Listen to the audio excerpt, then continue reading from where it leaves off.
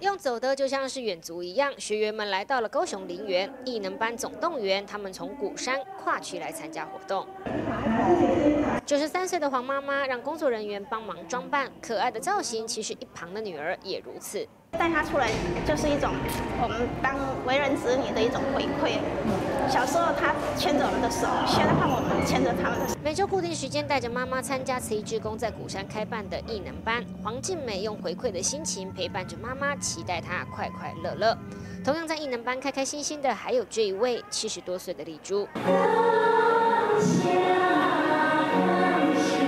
改变很多，就比较有笑容。哎，以前都不会笑。忘记怎样笑，这是丽珠形容过去的自己。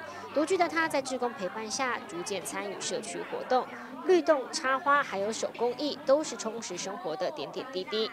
考虑健康、体能，还有心灵关怀，陪伴老长辈，志工们用心规划课程。来新闻真善美志工高雄综合报道。